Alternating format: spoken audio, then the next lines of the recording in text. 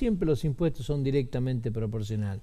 No siempre bajando la tasa se recauda menos a veces se recauda más. Y esto sucede cuando uno analiza parcialmente algunas decisiones que se han tomado, por ejemplo, como la reducción de las alícuotas de el derecho de exportación en la soja o la eliminación lisa y llana con el trigo, el maíz y el girasol.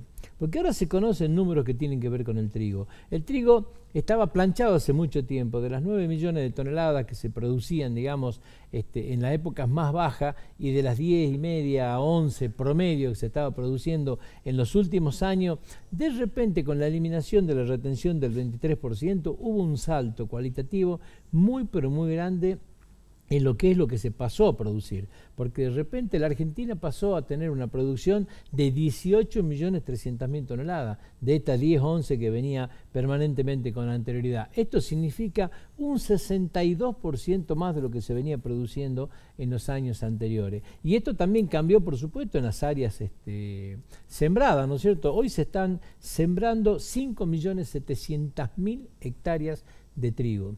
Y esto es lo que ha generado, ¿no es cierto?, un aumento cualitativo muy grande.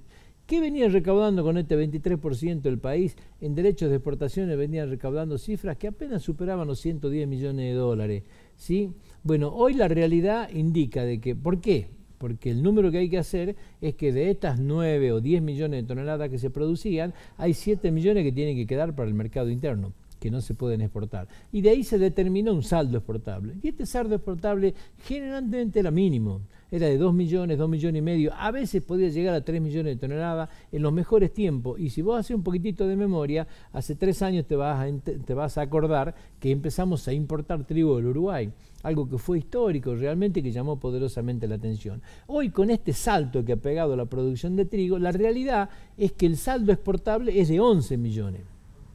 Este saldo exportable de 11 millones, el valor promedio que hoy tiene el trigo de 2.400 pesos, si vos lo llevas con 160 dólares, te vas a dar cuenta que podés empezar a hablar de la posibilidad de que ingresen dólares al país por 1.600 millones de dólares.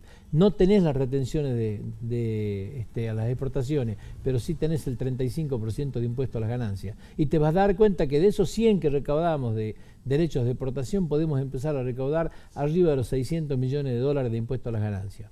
Sin contar, por supuesto, lo que significa el derrame de todo esto. Acá estamos hablando pensando en los productores, acá estamos hablando pensando en lo que es el productor triguero, lo que tiene que tributar él, pero la realidad es que para que este productor triguero desarrolle este producto, vos tenés camiones, ¿sí? se habla de 250 mil viajes de camiones para poder llevar el trigo al puerto. este movimiento de camiones, si lo querés ver, el movimiento de camiones solamente genera eh, consumo de combustible, consumo de cubierta. Eh, no es casualidad que el año pasado el vehículo más vendido en la República Argentina haya sido por primera vez en la historia la camioneta Hilux de Toyota. No es casualidad cuando normalmente son los autos de menor valor, de menor cuantía, los que ocupan este segmento, digamos. ¿sí? Esta, línea de autos de 200 mil pesos de hoy, de 210, son las que generalmente son los más vendidos. En la República Argentina no fue así.